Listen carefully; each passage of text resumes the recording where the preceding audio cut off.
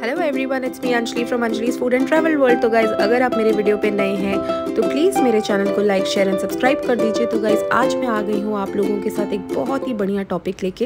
ये बहुत ही इन्फॉर्मेटिव वीडियो है top five resorts near Kolkata for a weekend getaway yes guys तो गाइज़ मेरे इस लिस्ट में सबसे पहले है होटल शोनार बांग्ला ताकी। सो so ये जो शोनार बांग्ला, अगर मैं इसके बारे में बात करूँ located on the banks of Ichamati river in the beautiful area of Taki on the outskirts of Kolkata overlooking Bangladesh on the other side of the river the hotel has some distinct tourist spots like historic value like Taki Rajbari Isha and Durga Puja on the river bank in the close vicinity बहुत सारे लोग यहाँ पे आते हैं एक अच्छा time spend करने के लिए और ये इच्छामती रिवर पे ये जगह स्थित है। एंड इसकी अगर रूम्स की बात करें तो ये आपको जैसे मैंने बताया ये फोर्थ स्टार प्रॉपर्टी है। तो इसका प्राइस आपको डिपेंड करता है मतलब साढ़े चार से पाँच हज़ार से लेके ये सात, साढ़े सात तक इसका प्राइस जाता है। And depends from season to season और इसका तीन चार रूम का कैटेगरी है जिसकी वजह से इसका प्राइस डिफ़र करता है। ये एक बहुत ज़्यादा लाविश प्रॉपर्टी है, बहुत ही लग्जरी लोग अगर जैसे मान लो आते हैं ना लग्जरी स्टे के लिए तो बाथरूम्स वगैरह आप इसका देख सकते हैं बाथटब भी है और ये है इसका रिसेप्शन एंड लॉबी एरिया आप देखिए कितना सीनिक ब्यूटी और मतलब बारिश और मानसून के टाइम पे तो इसका मतलब क्या ही जवाब है। मतलब best time to visit this place is monsoon and winters आप समर में भी जा सकते हो बट समर में क्या होता है ना स्कॉचिंग हीट होगी क्योंकि आप समझ सकते हो पूरी खुली जगह है तो आपको गर्मी मिलेगा। और यही अगर आप मानसून में जाते हो या विंटर में जाते हो तो आप पूरा लुफ्त उठा सकते हो इस जगह की ग्रीनरी का। एंड ये काफ़ी ज़्यादा खूबसूरत और मस्त जगह है गाइज़ आप अपने फ्रेंड्स फैमिली जिसके साथ भी आना चाहो आप आइए। आपको river and swimming pool facing दोनों चीज़ आपको मिल जाती हैं।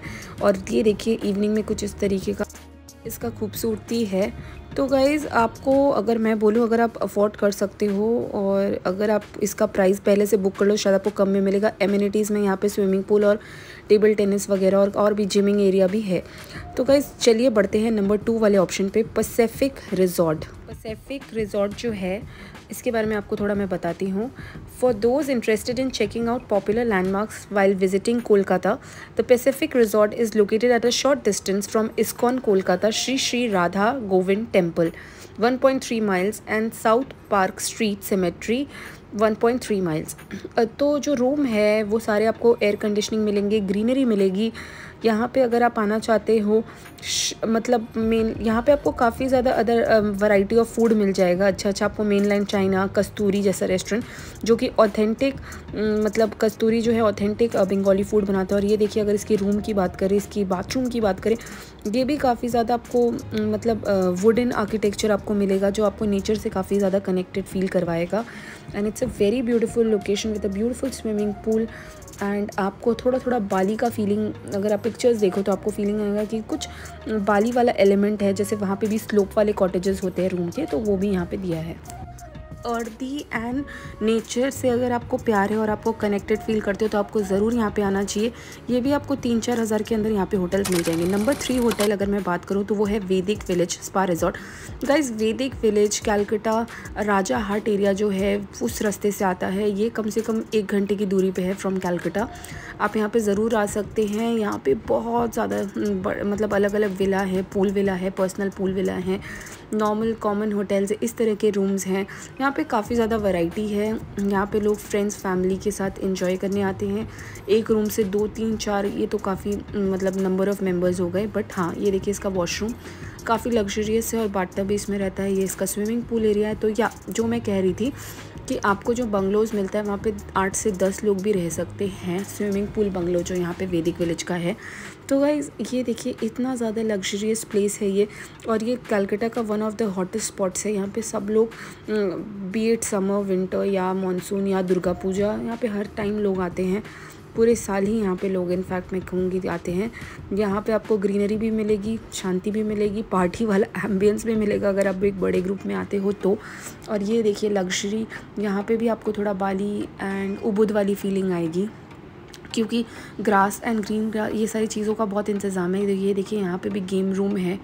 जहाँ पे आप आराम से इन्जॉय कर सकते हो। वैदिक विलेज स्पा रिजॉर्ट में अगर आप आते हो तो इस तरीके का कुछ आपको मतलब पानी के ऊपर आपको ये एक सिटिंग एरिया मिल जाएगा और ये है room different variety of room है। यहाँ के इतने वैरायटी ऑफ़ रूम है कि शायद यहाँ पे पूरा वीडियो ख़त्म हो जाए पर रूम्स आपको वराइटी ना ख़त्म हो। तो गाइज़ अब बात करते हैं एक बहुत ही ज़्यादा लव्ड लोकेशन के बारे में, जिसका नाम है नंबर फोर्थ पे है Ibiza the fun resort and spa. ये जगह अपनी लेविशनेस और खूबसूरती के लिए जाना जाता है। कहने को तो ये थ्री स्टार प्रॉपर्टी है बट आपको फोर्थ स्टार जो होती है ना फोर्थ स्टार वाली फीलिंग यहाँ से आएगी। यहाँ पे हर लग्जरी अवेलेबल है और ये डायमंड हार्बर रोड जो जोका वाला रास्ता है, वहाँ से आता है। आई एम कोलकाता क्रॉस करने के बाद एकदम एंड पे ये आता है। आप मैप पे देख सकते हो, ये कुछ इस तरीके का बाहर से इसका लुक है, इबीज़ा द फन रिजॉर्ट का। तो यहाँ पे डे आउटिंग के लिए भी लोग आते हैं और रहने के लिए भी आते हैं क्योंकि यहाँ पे काफ़ी सारे फ़न एक्टिविटीज़ होते हैं और या फिर लोग सिर्फ़ लंच या डिनर या फुल डे एक पैकेज लेके आते हैं। और ये देखिए इसका लाविश रेस्टोरेंट इसका जो रेस्टोरेंट है वो इसकी काफ़ी ज़्यादा खूबसूरती बढ़ाता है और जो आर्किटेक्चर है वो आपको रॉयलनेस के साथ साथ आपको पुराने ज़माने पे भी लेके जाता है। एक महल वाली फीलिंग आती है। प्लस यहाँ पे कॉटेजेस है। And guys just see the washroom मतलब ये कोई वॉशरूम है या महल का वॉशरूम है तो कुछ अलग इसका है लुक यहाँ पे ग्रीनरी के साथ साथ रॉयल वाला फीलिंग भी है आपको मिलेगा।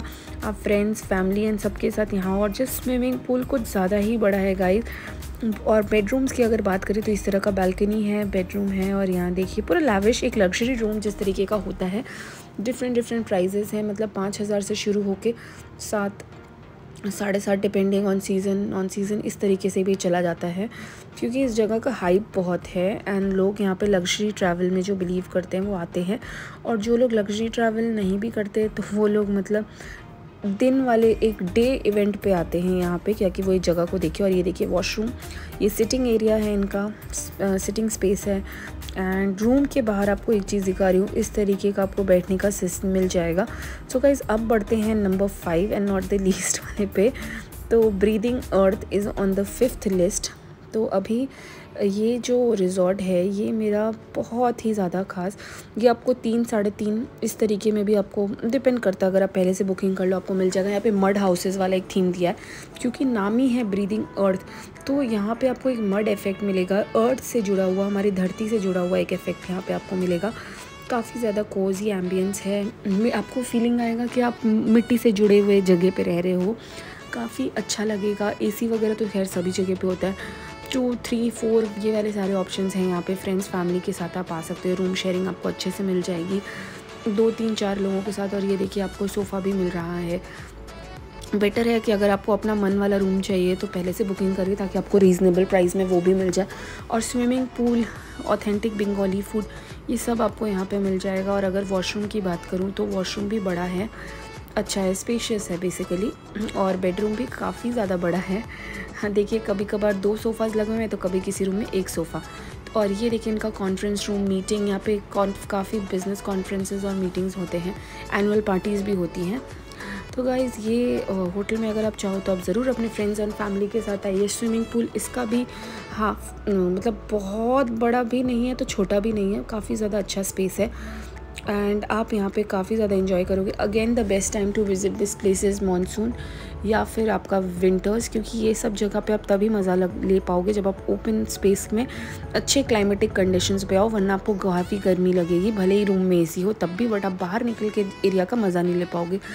तो यहाँ पे काफ़ी ज़्यादा अच्छे से बैठने का स्पेस भी है। तो गाइज़ आई होप आपको वीडियो अच्छी लगी। अच्छी लगी तो please like share and subscribe my channel and thank you